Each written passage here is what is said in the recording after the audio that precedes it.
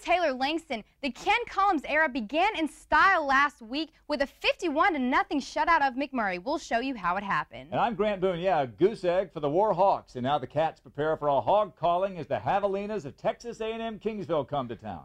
The Ken Collums Show starts right now.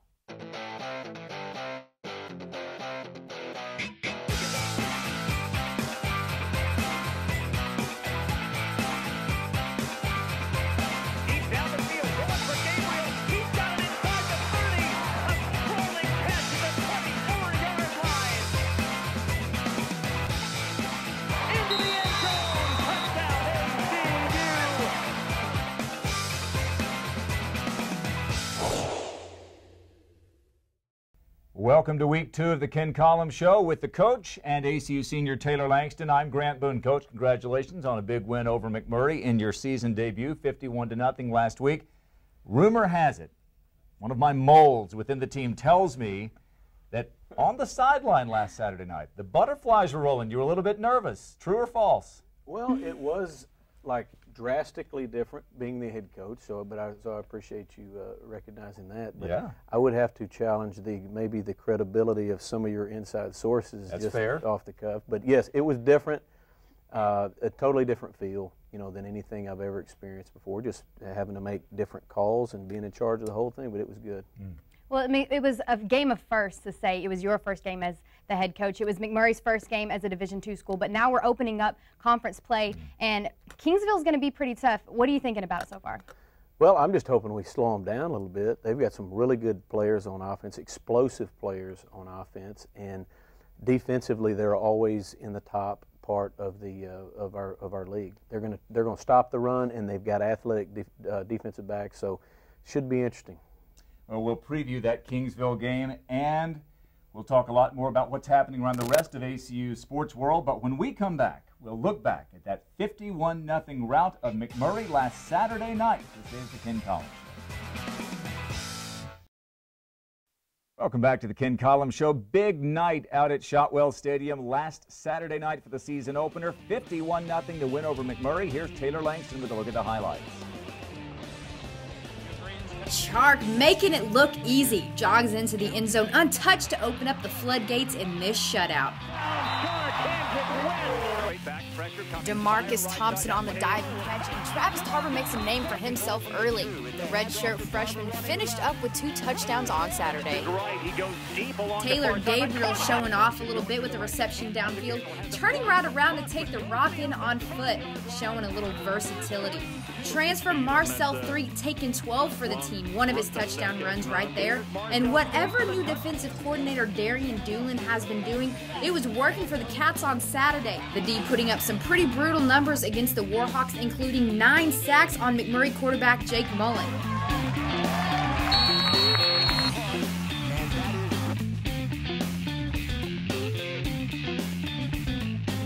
Ryan Smith saying no sir to Mullen right there as he bats down a pass. And Angel Lopez wanting to take a little souvenir for himself, intercepting this pass in the fourth quarter. Defense only gave up 300 all purpose yards, and the Purple was just swarming McMurry's offense, even forcing a fumble. And you can't open a season with better style than sophomore defensive end Nick Richardson.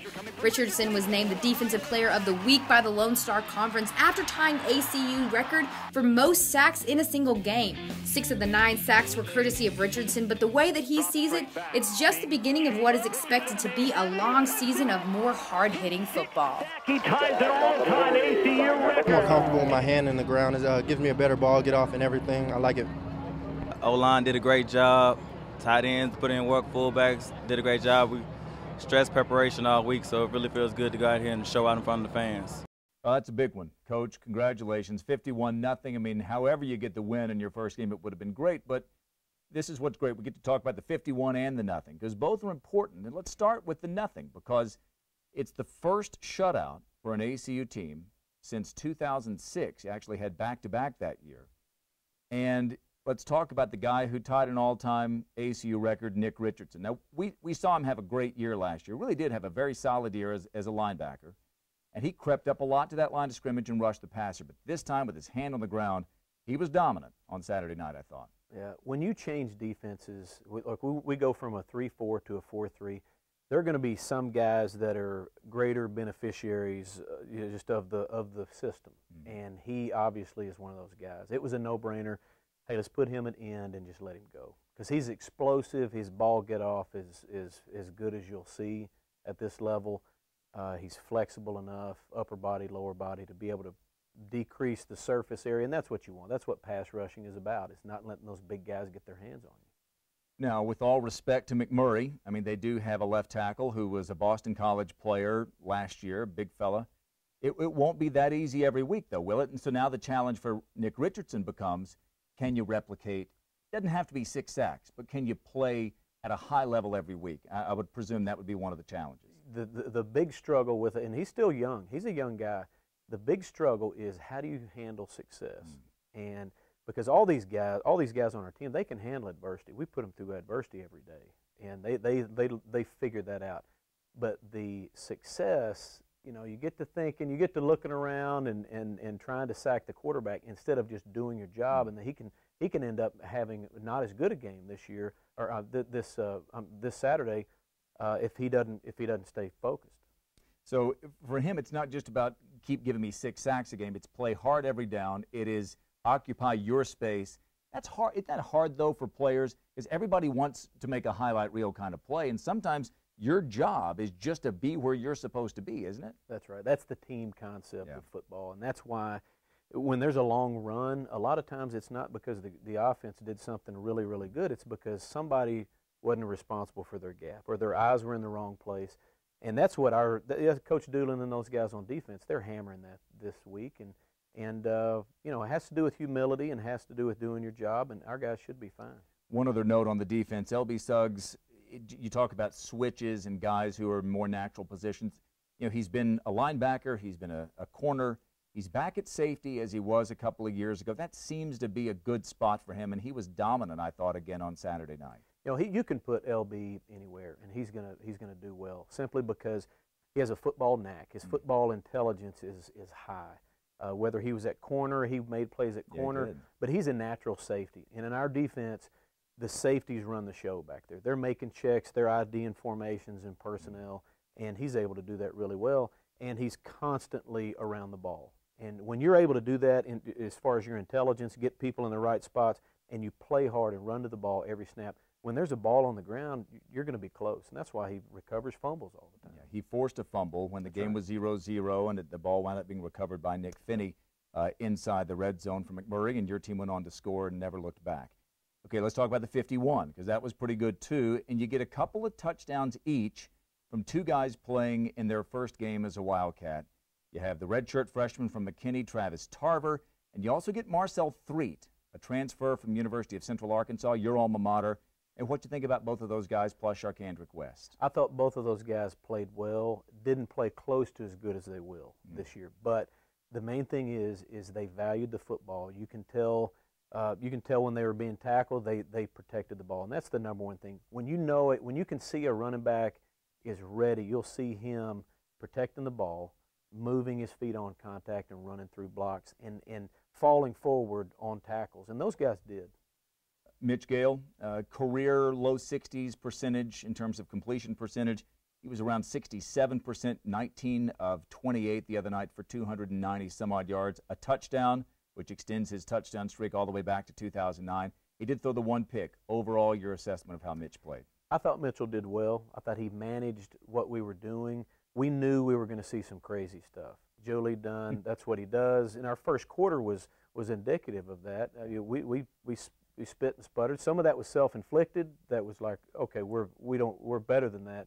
But uh, but again, in the second in the second quarter, we had 230 yards in the second quarter, and a lot of that is him just being the general, IDing the defense, running, throwing, throwing strikes, throwing the ball away when he should have. There were a couple of calls that I made uh, simply from being on the sideline. I didn't have a good view of it, and he bailed me out just with an incompletion. So some of that's good.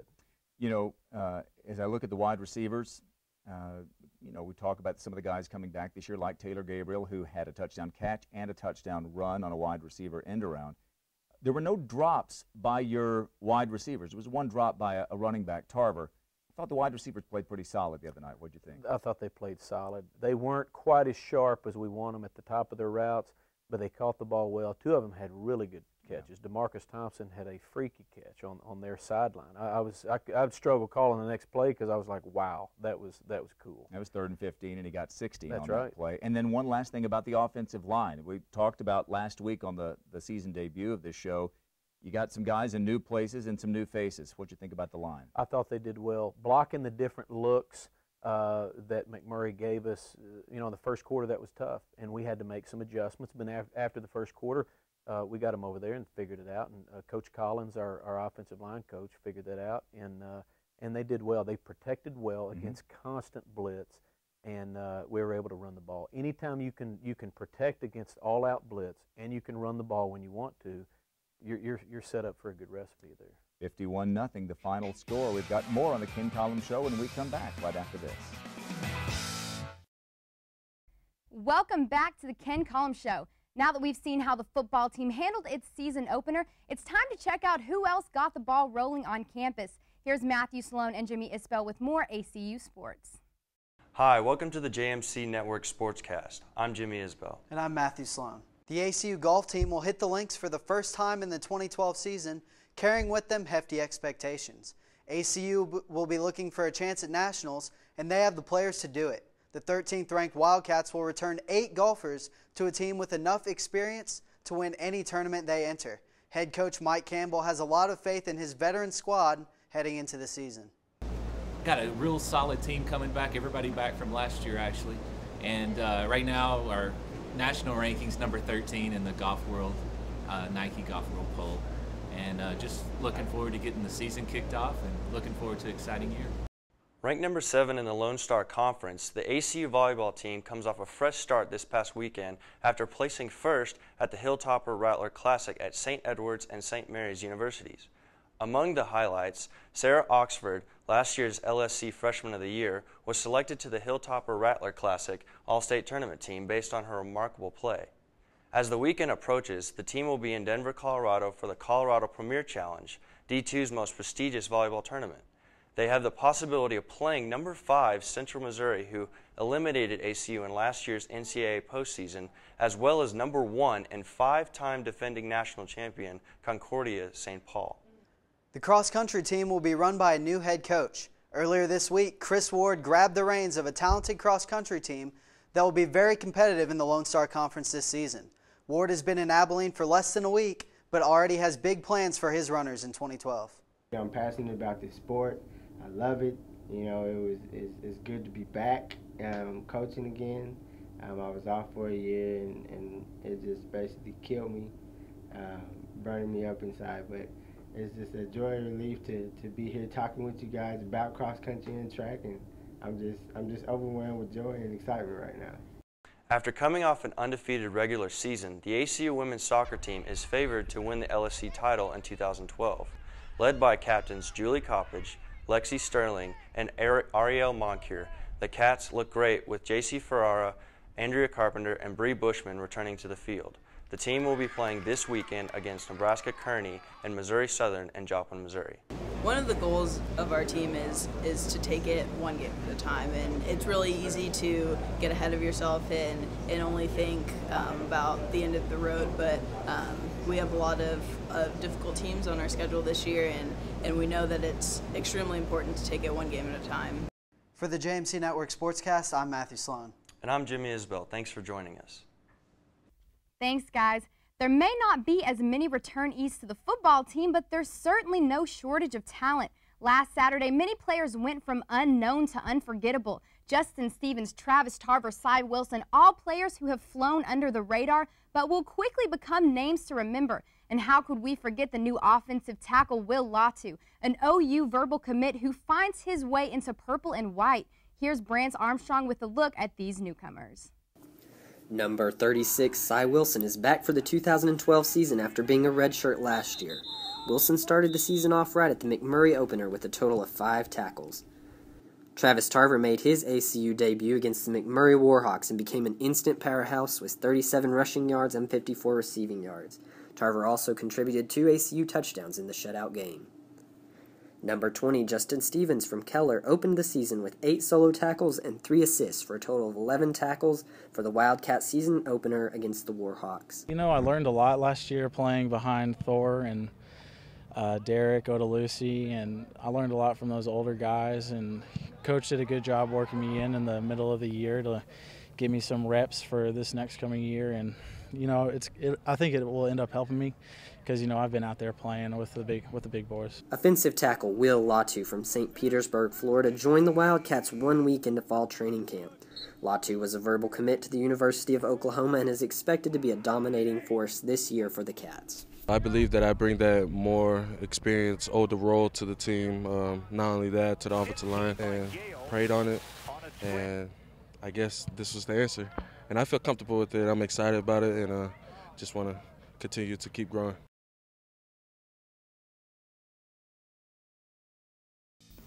Welcome back to the Ken Collums Show. Let's take a look at the Lone Star Conference schedule for this Saturday, the second Saturday of the season. And you've got a couple of LSC schools on the road at Division One teams. Commerce is at UT San Antonio, and, you see that Incarnate Word is playing Sam Houston State. The only other Lone Star Conference matchup coach is Midwestern State at Tarleton State. The Texans, for a second straight year, get a tough opening draw. That's right. They're opening with the defending champs, uh, Midwestern, this year. Last year they opened with us. We were the defending champs, so they've got a uh, they've got a tough gig here two years in a row.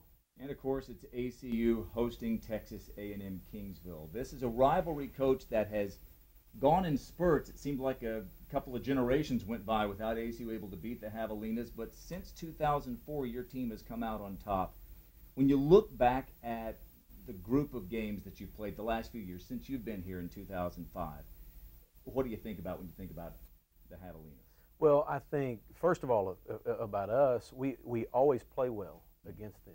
We, if you look back in the past, we don't we don't turn the ball over against them, and we're we're very efficient. Even third downs, we end up being in a lot of third downs, but we convert most of them. And uh, so the first thing I think of is of that our guys are ready, and they're you know they're pretty fired up to play against the Javelinas.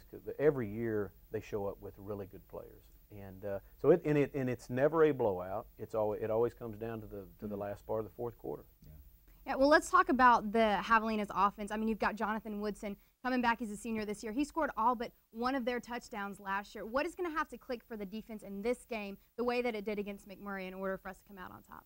Well, he he went off last year, and it was you know in the box. I'm rooting against the guy, but those were some impressive runs and, and catches that he made, and, and I mean, he's a he's a great player. He's got elite speed, and but our guys know this, and it starts with our defensive front. We're going to compress the running lanes, make him bounce it, and then and then make plays. Because if you keep him going sideways, he, he can't score. Uh, if you give him a clean shot downhill on your safeties, then that's that gets that gets tough. Unfair fight. That's right. Well, he went uh, off for 228 yards, and then the next February he won the indoor Division Two 200 meter dash. He actually went for 218 meters against us, 228 right. yards rushing two 80 plus yard touchdowns and a 60 yard touchdown receiving. Coach Jonathan Woodson is far from a one man show. They've got Sherman Batiste, they've got Robert Armstrong, they've got a transfer from Boston College, Clyde Lee, at the wide receiver positions, and they've got a senior quarterback in Nate Popple we saw two years ago. He didn't play last year because of injury. So it's not just Woodson, is it? No, it's not. Uh, Popple's he can he, he's he's a seasoned guy. He's been there, done that. He's he's he's competed at a high level and when you're throwing all these these receivers and athletes around him, I'm getting a little nervous right now. But we'll, I think we'll, I think we'll do fine. Well, last year we were in Kingsville. It's not exactly a short drive, but now you're going to get to play. Uh, you're going to get to play A&M Kingsville at home. How does that change? Um, sort of having the home field advantage, getting to go up against um, the Javelinas tonight. Well, I, I don't mind going down there other than the long trip because it is a great atmosphere down actually had to go down there two times in a row, which is a little unfair from our commissioner, but he doesn't really care what we think. Um, but we play well when we're down there, and, and I, I expect the same thing here. I would, if, if I could vote for the trip or no trip, I would play them out here at Shotwell, and I think I think we'll do well. Coach, going into this game tonight, you'll be a little bit short-handed. Chris Summers, linebacker, in that 51 0 win over McMurry last week, was injured. He won't play. And Charcandrick West is a little bit of a question mark as well, right?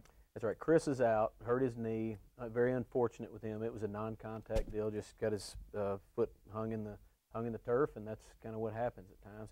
Uh, Charcandrick West has a has a bad groin. He's he's he, we expect him to play a little bit, but not much. Yeah. So uh, Taylor, it really comes down to can that ACU defense, that new look defense, hang in there with the powerful Kingsville offense? Right, and something that I'm looking forward to seeing is um, how you're going to sort of change up the defense that you've been working. Um, it's obviously different than it was last year, but are we going to see anything different from the defense this, this game than we did last week against McMurry? Well, it's a totally different animal. You know, McMurry's pass, pass, pass. These guys are going to come out and they're going to run first. And really, it looked like defending the pass is our forte, but it, but but uh, closing down those running lanes, that's what we're going to end up doing best uh, in the long term this year. So I think it's going to be a good matchup, and it all starts with those guys up front. And if they do their job, then everything will fall into place. Last thing, Coach Mitchell Gale against Kingsville has played better than he has against any other mm-hmm. opponent. He's thrown for better than 1,100 yards in three games, eight touchdowns, no interceptions in those three games, averaging 370 some odd yards per game. Why has he had so much success against the Javelinas? Well, it starts with Mitchell's preparation. Every day he shows up, he's honed in. He really studies the, the, the, the safeties, the linebackers, how to manipulate those guys with your eyes. And they're, they're an aggressive defense. They are every year, and that's why they're so good. Uh, but we use it against them a little bit, run some double moves, and Mitchell's, Mitchell's normally on point against those guys. All right, should be fun. The Javelinas and the Wildcats, 6 o'clock tonight at Shotwell Stadium. Lance Fleming and I will have the radio call on Mix 92.5 FM at 5.30 p.m.